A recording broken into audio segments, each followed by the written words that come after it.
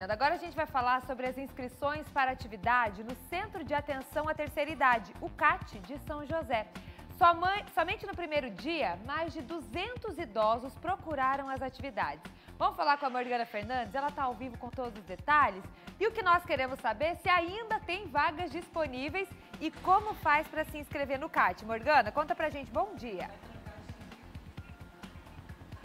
Oi Maria, bom dia, bom dia para quem está nos acompanhando. Ainda dá para se inscrever, tem vagas sim. Inclusive a gente está aqui no CAT nesse momento e a gente vai mostrar o painel aqui com algumas dessas vagas. Tem vaga para fazer hidroginástica, pilates, ginástica, informática e tecnologia, dança, canto, música, tudo isso para os idosos aqui de São José. As inscrições para participar das atividades aqui do CAT começaram ontem e como você mesmo disse, assim, lotou de gente por aqui, 200 idosos, isso só no período da manhã, Maria, de tarde veio mais 100. Hoje de manhã também vieram mais 100 idosos por aqui para fazer inscrição, só que fecha agora meio-dia, das 8 da manhã até o meio-dia. E aí a gente segurou a Dona Odete, que foi uma das últimas a fazer inscrição agora de manhã, para perguntar para ela, né, justamente, Dona Odete, veio se inscrever para quê? E a senhora já costuma fazer as atividades aqui do CAT? Bom dia. Bom dia.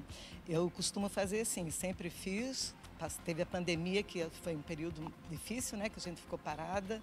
E hoje eu vim me inscrever para ginástica rítmica e dança, que eu adoro. São atividades que movimentam bastante, né? Não consegue ficar parada. Não, não dá. Além disso, ainda caminho todos os dias aqui na Beira-Mar. Como eu moro próximo daqui, tudo se encaixa.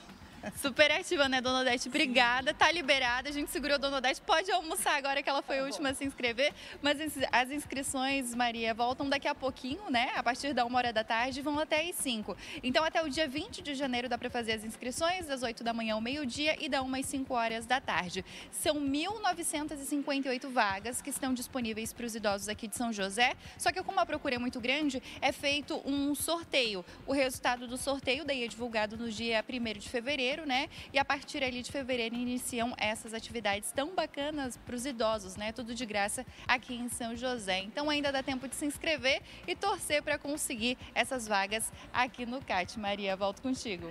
Ô Morgana, a Dona Odete é um exemplo para nós, né? Ela se inscreveu ali em ginástica, em dança, diz que caminha todo dia na beira-mar. Vocês viram só, gente? Inspiração para esse começo de ano. Obrigada, viu, Morgana, pelas informações.